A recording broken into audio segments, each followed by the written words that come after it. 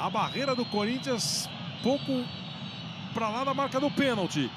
Bola batida pro gol! Gol!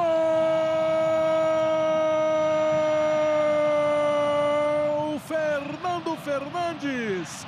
Gol do Guarani!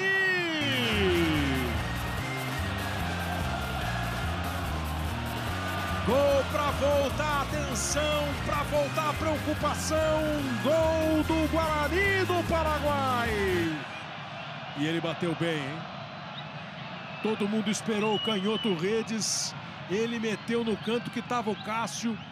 Ela passou pela barreira. O Cássio ainda chega, dá um tapa na bola, mas não consegue tirar o suficiente.